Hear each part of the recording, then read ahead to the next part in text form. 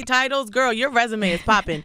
Rapper, social media personality, influencer, reality TV show star on BET's The Impact Atlanta. You are the it girl, right? you. Uh, you're the girl that everybody wants to know who you hanging out with. Mm-hmm. Everyone wants to know who you dating. Mm-hmm. Everybody wants to know what you're wearing. Yeah. You are that girl, and you're joining us here. Welcome. Yes, I'm so excited to be here. Thanks for having me. Yeah, Of course, girl. You are out here, you know, doing the music thing mm-hmm. and, and and trying to be known for that. Yeah. Aside from all the things that people know you for, so Yeah. that I respect, and that is what we like to highlight here. Yes. So you actually are talking about your music today. You put out an EP called Raw. Yes, ma'am. I want to talk about that because why that title? Raw because you know since I came into this industry, I've always been organic and just I try to give people my most authentic self. So like I had my first EP, Definition of Dess, and I think the title Raw had to be next because of just the year I had. I just felt like I just stripped myself of everything and I'm just giving it to people raw. Yeah. Mm-hmm. What kind of? How would you describe the year that you had? I learned a lot. Um, it was a very eventful year. I had a, I experienced a lot with my team, like not having a team and then rebuilding a team and like kind of like starting back from the bottom for me. I feel like you know, like I was refiguring things out for real and just getting back into my groove. It's so funny how we see this persona on social media sometimes, Mm-hmm. and people don't know like the behind the scenes that is happening, which is why stuff like that is, is important.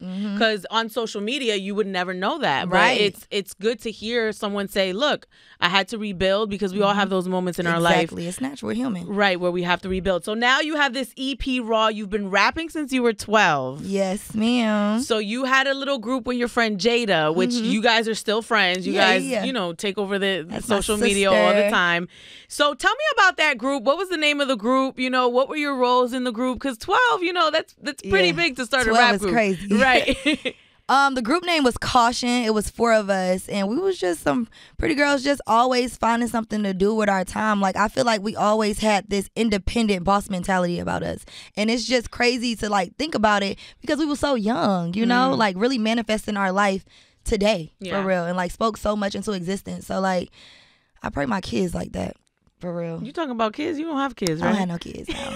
but when I do, yeah, I pray they be just like me, like growing up, you know, like I always stayed busy and put myself out there, you know, and did the things that people normally didn't do. Like girls wasn't normally like making a rap group, going to the clubs, really like having rehearsals, getting in the studio, staying busy, doing something super productive that plays a huge part in my life today. yeah. Yeah. Did you guys see what is happening to your life now back then? Like you and Jayda, and did, did you think you would be on the level that you are now? No, we never we never could have predicted this, but like we manifested it though. Like in our mm. songs, we was like, me and my girls, we like to splurge. Like we always like spoke that type of stuff over our life. So I feel like that is why we live the life we live today because we spoke it over ourselves and just really like believed it. When you're on social media, people are obviously in your business, but Mm-hmm. now you're on TV showcasing things and then people start things. How has that transition been from like, you know, going and do starting to do stuff on the camera? It was a huge, like a huge difference, like a lot to get used to. I was very uncomfortable at first, but the reason I signed up to actually do it is because I wanted to give people that insight to show them like everything not perfect all the time, you know? And I feel like that's important for people to see who are also trying to like chase their goals and stuff. Like everybody have hard days. Everybody go through stuff. Like whether it's relationship, business, whatever. Like we're human. So I, I really wanted people to like see that side of me. Now I didn't open up that much because it was so new and a, and a lot to get used to. But stay tuned for season two because I definitely plan on peeling back a layer. So that's on BET Plus And The- VH1 now. And VH. Okay, you better get right. Mm-hmm. And the Impact Atlanta. So you guys have gone viral for a lot of moments Mm-hmm. doing that. Um, doing TV. Do you feel like that's something that you're going to continue in addition to your music, or do you feel like it's supporting your music? I definitely feel like it's supporting my music because people get a better feel of who I am for real and why I do what I do. Right. So the EP is called Raw. Um, I love Nanho. Now, no, Trina is the original baddest bitch Yes, that created. original. Oh, you know Nan? Uh, yeah, right. Okay. So the what you did with the song. I love because normally when you sample or try to redo a song like that, you can't always get it right. Right. Because Trina has this sauce about her that I don't think can be replicated. Cannot. But you really did the song justice. Why Thank did you you. decide to redo that? Well, my manager actually like let me hear the beat, and when I heard it, I instantly like got this. I, it's like I love. I, I, say when beats speak to me, like that beat really spoke to me, like the little mix of it. And it's one of my favorite songs. Trina's one of my favorite artists. Love her. Shout out to Trina. And when I went in the booth, I just was just talking off the top of my head, and it just all flowed so good. And it took me a while to finish the song because I wanted to make sure it was right. Yeah. So like I went in there, I played with it, I added some stuff, and then like a month later, I came back and like finished it. So Mm. it was just a work. A bit a, a work in progress, I guess you could say. You write all your stuff, or do you, do you have people help you? Yeah, I write all of a lot of my stuff, but I do work with writers sometimes. Yeah. Mm-hmm. How do you feel about like ghost writers? Um, shit, if it's the right song, it's the right song. you know what I'm saying? It's about how you perform it. Period. So Trina's actually in your Nanho video. Yes. Which is major. How did you guys get that together? Um, honestly, I just DM'd her because we follow each other on Instagram, and like I said, like Trina is one of the most supportive females that I know, like in my life for real, and for her to have such an impact on the rap game, it's just like good to have that as an artist, like somebody I can like DM if I can ask her, like call her, pick up the phone.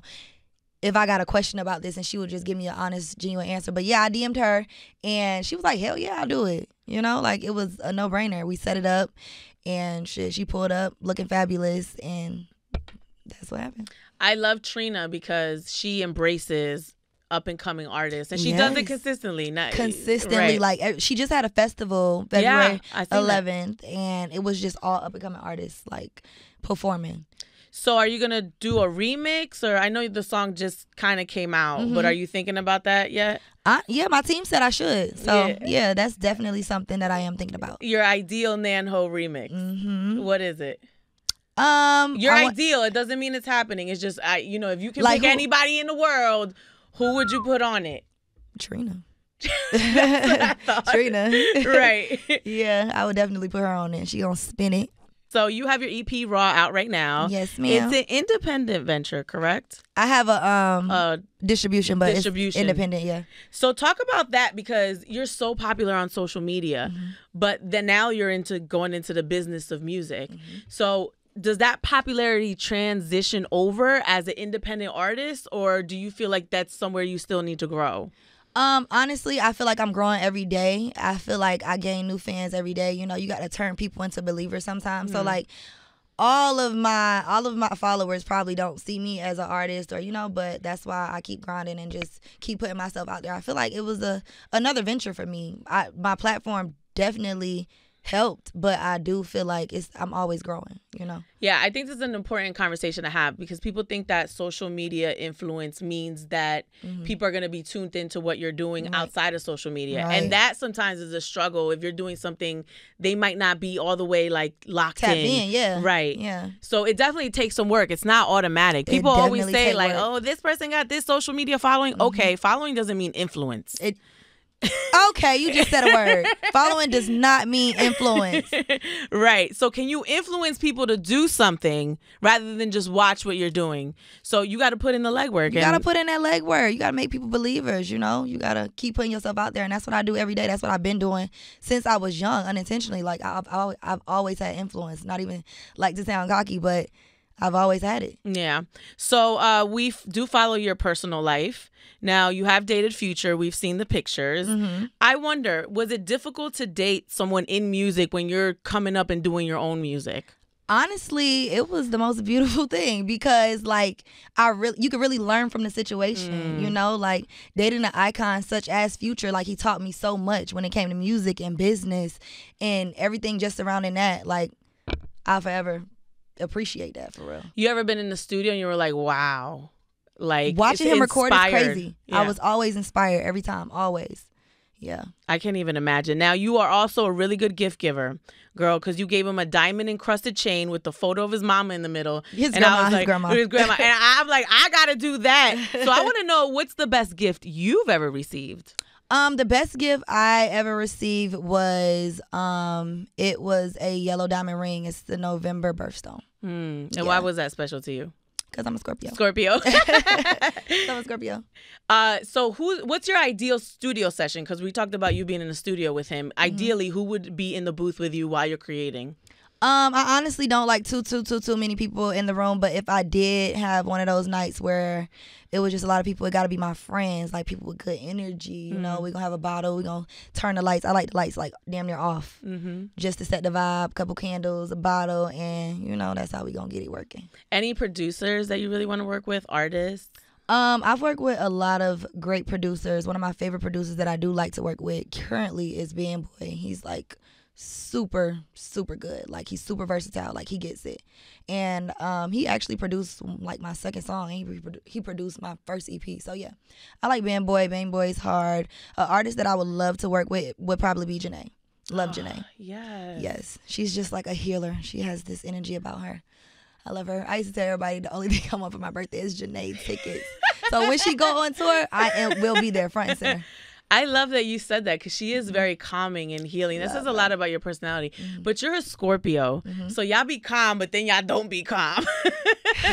That's the thing, you know. You never Right. know which side you're gonna get. so how do you keep things private? Because your your life is becoming very public outside of social media. I think the reality show really opened up a can of worms Yeah. for you and your friends. So how do you maintain privacy?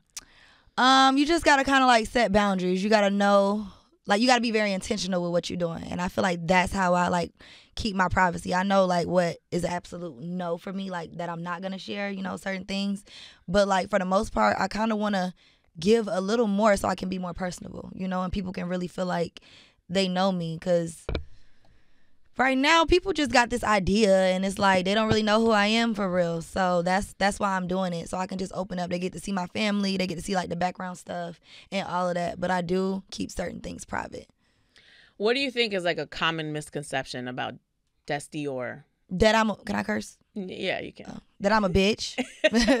Cause I'm not. I'm actually like one of the sweetest people like ever. But because I don't really show my personality, people just go off like my facial expression expressions and stuff. But I don't mean no harm. I mean, that's a word that they use on any woman who has any kind of Yeah, they say like attitude or, you know. But I just be chilling for real. I honestly really just be chilling and I'm a thinker. So like sometimes it just show on my face that I'm just in deep deep I'm always in deep thought. Like Yeah. I could be having having a conversation in deep thought about something in the back of my head. You know what I'm saying? So like when I like maybe like sitting on the stage like for instance when I did the reunion, I'm just like in my head just thinking about stuff and people like why she just like, you know, so I don't know. But right. whatever. So there's a lot of up and coming female rappers. What do you do to cut through all that talent? Cuz it's an amazing Mm-hmm. time for female rap. There's so many, but you coming up in this era, like what do you think sets you apart and how do you cut through all the stuff that's going on and all the different artists that are out there? I feel like you got to be authentic, you know? Find your niche. Never try to ride somebody else's wave. Like, do it feel good to you. Like, I don't never try to ride nobody wave, you know? Like, I always do what Dess want to do. I wear what Dess want to wear. I talk how Dess want to talk, you know? So I think that's what separates me. Okay, Big Boss Dess, you better talk that talk. On that note, the EP is out right now. It's called Raw. Uh, Nan Ho is out, hopefully with a remix, you know, soon. And then BTVH1's The Impact Atlanta. Thank you for stopping by. Thanks for having me. How can people reach you? Uh, They should already know, but go ahead. But if you don't know, you know, you can follow me on all my social media platforms. The number one, Dess Dior. Sometimes it's an underscore in the front. So don't be scared to add that. You know, subscribe to my YouTube channel. Like, watch the day in the life for Dess. And yeah. Love it. Your meetings out. Love.